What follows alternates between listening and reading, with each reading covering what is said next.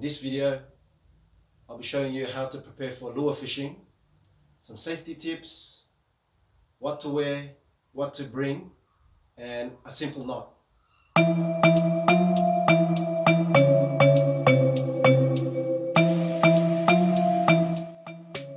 Hi guys, it's Hadi Taha again.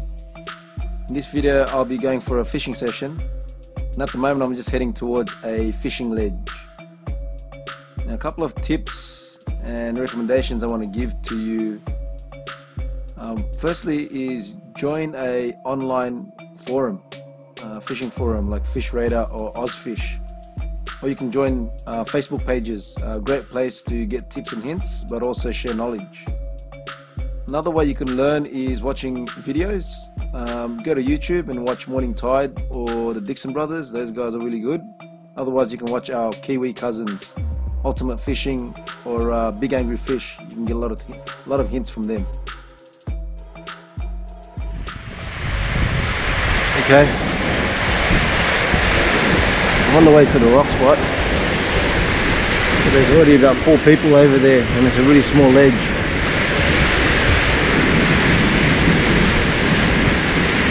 Conditions don't look too good either. So I might give another couple of spots a try. Not looking too good over here. Well, I'm obviously not going to go to that ledge, so I'm heading back to the car and going to drive to find another uh, another fishing ledge. A couple of other tips, safety tips. Watch the weather uh, throughout the week. Um, you can do this uh, watching uh, Willy Weather on the, on the net, um, Sea Breeze, or even uh, uh bomb.com. Make sure that you watch for the uh, swells and watch for the wind. Either one or both that are high is a no-go, um, especially if the swells are over 1.5, guys. Now, second tip is tell someone where you're going. Uh, make sure that someone knows. I mean, for my purpose, I told my wife and a few of my mates. Fortunately, none of them can come today. The third uh, safety tip is when you get to the near location, just watch the location, uh, watch the waves, and see if it's safe uh, for about five to ten minutes before you go there, like I did earlier. The fourth recommendation is obviously the life jacket, much needed. Make sure you bring one along Find a light one, a small one, but it's needed. And a couple of final uh, safety tips, which I'll go through in a bit more detail later on in the video, is angel rings, um, bring water, and make sure you have cleats. Hey guys, I'm at the second spot. Um, just gonna check the conditions out. It's pretty windy. Just want to make sure it's all safe. Safe on this side. As you can see. A bit choppy, but um, I don't know, I'll have to check the other side.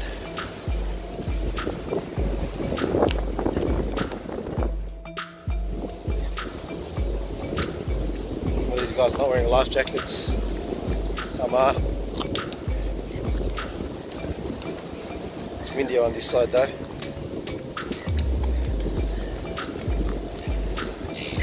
There you go. Wow. It's freaking windy on this side, man.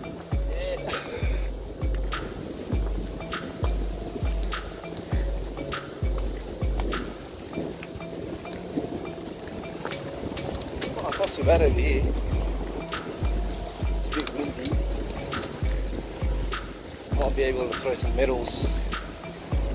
So um, give it a shot. go through what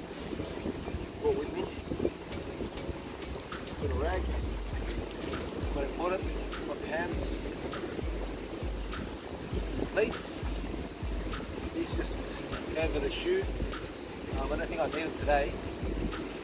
Um,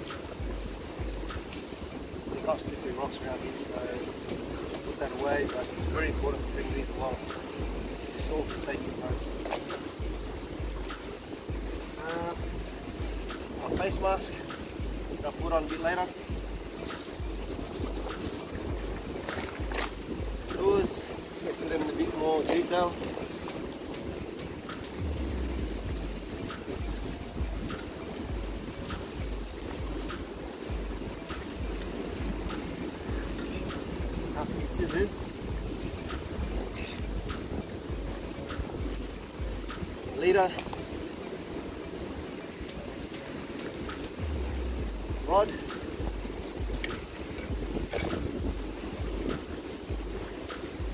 Bottle of water, very important.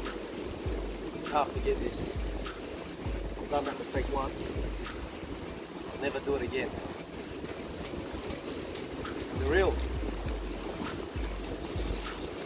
Of course, I've got some snacks. Just in case I get a bit British. These are all really important. Um, always bring also a um, garbage bag, just a small knife case I need it. Also bring a, um, a brag mat just to measure the fish, just to make sure that um, we're taking home legal sized fish if we do take some home. These are my essentials. Try to keep it light. Putting this rod together is quite simple. Uh, it's a two-piece rod.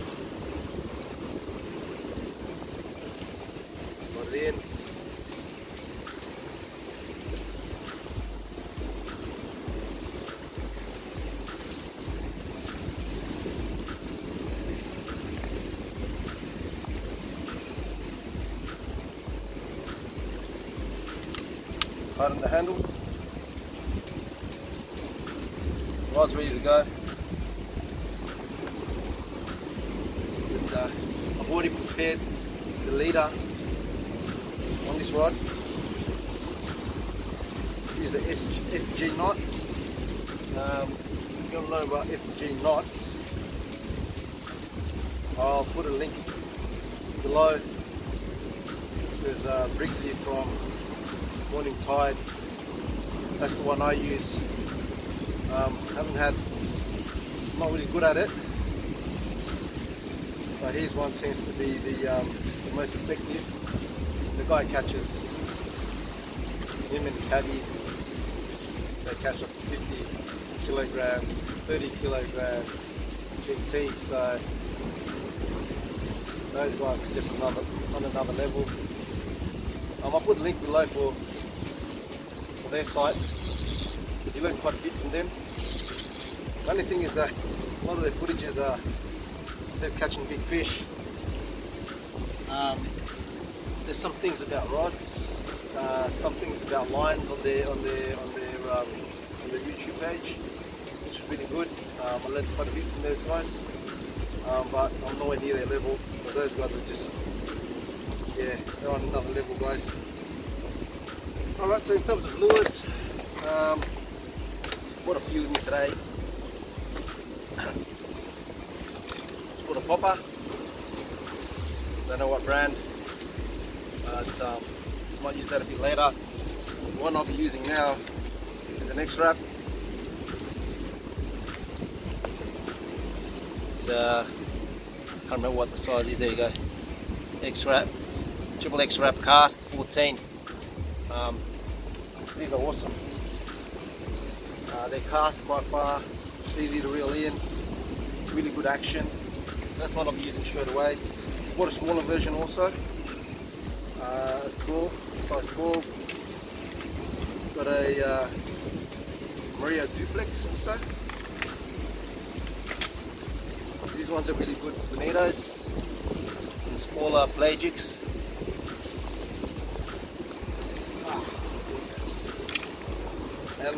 The, the trusty old metal lure, can't forget that.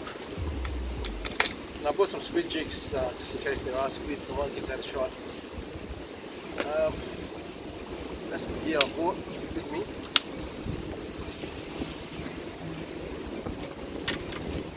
In terms of the knot I use for the for the uh, for the lures, attachment to the lures, I'm just using a simple um, uni knot. Um,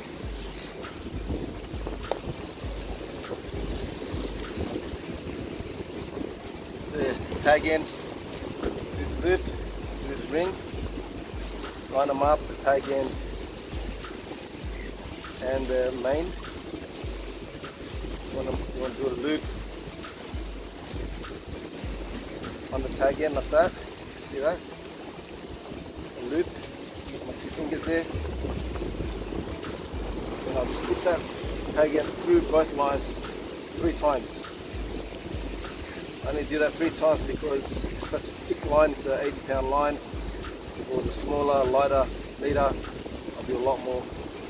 And just pull it along, pull it along, slower. There's two purposes for this. Lubricates it, but also um, reduces the friction and from the, uh, the leader line. That, just pull it along.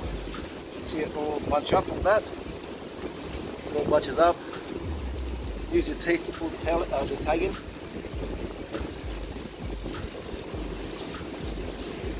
There you go. Done. What that does is, if you hook onto a fish and you pull, the harder the fish pulls, the tighter the knot gets. So uh, that's it. One of the most important thing is uh, making sure you wear the right clothing, cover up, uh, sun can get pretty nasty. So firstly, um, we'll start with the hat. Um, I got mine for $10 over at Kmart. Doesn't need to be anything expensive as long as uh, you're wearing a hat. Then have a polarized uh, sunnies. You can get these at any servo. I got mine from 7-Eleven for $20. Not expensive. You can get really expensive ones though. And the uh, more expensive obviously the more better. Uh, make, get a fishing shirt, uh, a UV, one of those UV ones that I'm wearing right now. I mean, they they get for about $40 a BCF when it's on sale. A couple of really good ones, good patterns. An inflatable uh, life jacket is a must, like I said earlier. $60 at BCF when it's on sale. Get a good one. Shorts, I mean, I just got mine from uh, Aldi's. It's like $20 shorts. Wear boardies. Keep it light. I wear active tights um, so that I don't expose my skin really. I just feel more comfortable. Keeps you warm in the morning when it's cold. Um, but uh, protects you from the sun. The most expensive item I'm wearing right now is my shoes, my hiking boots. Um, you need really good ones, uh, otherwise your feet gets absolutely smashed. These ones cost me $190 from BCF. And make sure you put on some sunscreen. Of course, we're in Australia. Uh, $10 from Chemist Warehouse. Really important, guys. Just wanted to show you guys, normally a popular rock fishing ledges, there's an angel ring and these angel rings basically if you fall in someone could grab it and throw it at you or throw it towards you um, and it could save your life. So knowing where these are are really really handy especially if you don't have a life jacket. So I brought this water. What I do is I freeze it overnight and it stays cool all day uh, the trick is just keep it under shade. Don't it in the sun otherwise if you it in the sun it defeats the whole purpose. Very important guys water. The other tip is these are cleats attachable cleats. Got these for about $50 over at um, Shin Shin tackle store at uh, Eastwood, the ISO fishing guys. Really good value. Um, stainless steel, quite simple to use. For the front sign, put it over your shoes. And just put on the strap, easy as that.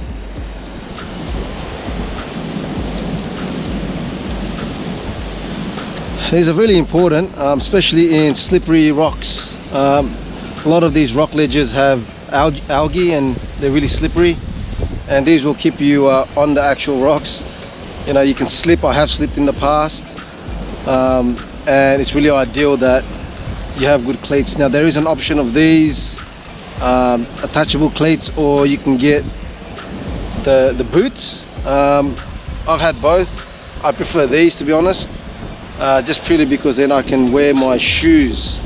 Now these are hiking shoes hiking boots. They're quite expensive but it does um, it is a lot more comfortable. Um, I can use it for the actual walk from the car as opposed to the, uh, the the boots with cleats on them metal cleats on them. They're really uncomfortable to walk on especially if you walk on it all day and fish all day um, you almost feel like your toes are about to fall off. Um, but these are far more comfortable. Um, they're a bit more versatile. You can carry them around put in your bag. You don't need them you don't have to wear them um, whereas the other ones you're kind of stuck with it. Um, $50 really good value for money. And uh, you, you need this uh, going rock fishing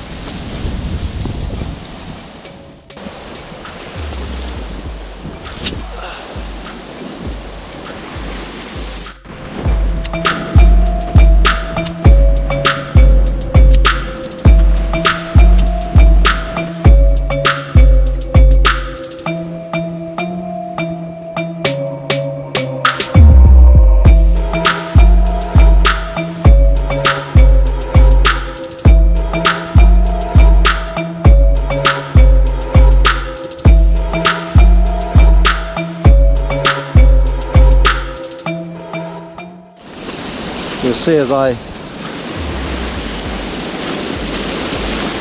as I swing the rod creates a whole lot of splash. Oh that one just jumped.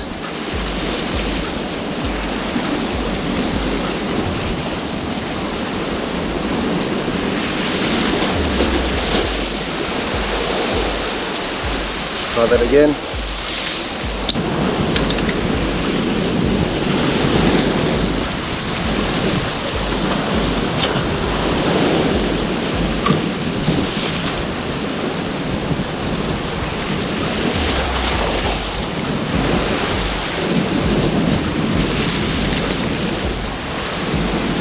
Again, swing it left to right, swing it left to right, right to left, doesn't matter.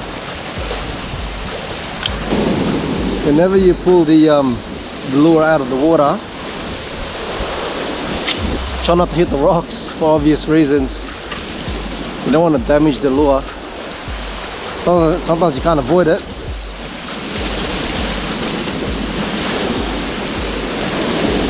Let the waves help you get the, the lure out.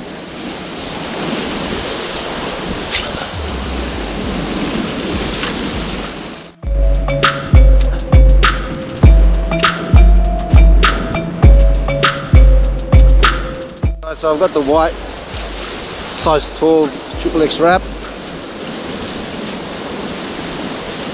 Hopefully this one doesn't get the bib broken either.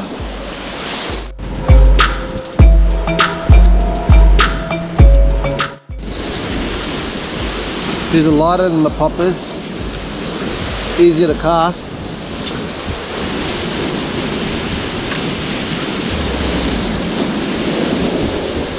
But they are fragile. Oh,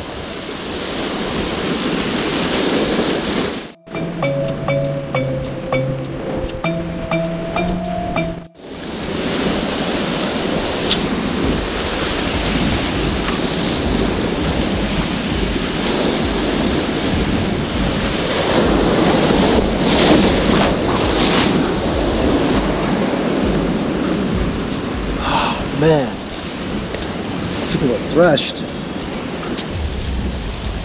guys I just totally got thrashed by a wave a rogue wave. My clothes are all soaked my shoes are soaked. But I just want to show you guys what kind of views I you know I have when I when I go fishing when I go rock fishing. It's just stunning it's just it's amazing. Um, and the whole of the New South Wales coast is like this or even better um, and I hope I can show you guys in future episodes, in future uh, videos. But yeah, nothing, nothing for today. But I got to go outside. Definitely got an exercise, and I'm soaked. Just reflecting on this session, a couple of negatives. No fish, obviously. Got hammered by a wave and got wet, and my legs are burning like there's no tomorrow. Uh, the drive home was just was really bad. It was cramping all over the place, and uh, still feeling the pain now. But some of the positives. Uh, it was a great workout. Lost about a kilo. Uh, great views. I found a new spot, fishing spot, and you'll see what happens next. Thanks for uh, watching. I hope you guys enjoyed it. I hope you learned a few things. And um, yeah, keep watching. Please subscribe and share. I'm hoping I'm getting a good shot on these guys, but there's a there's a, there's a bunch of whales.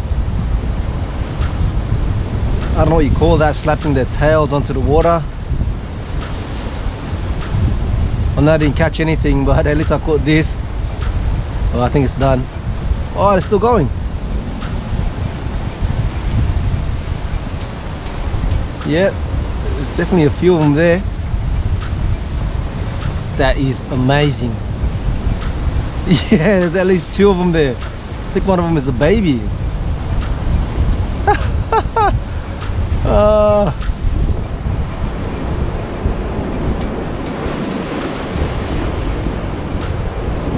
that's amazing. Anyway, beautiful.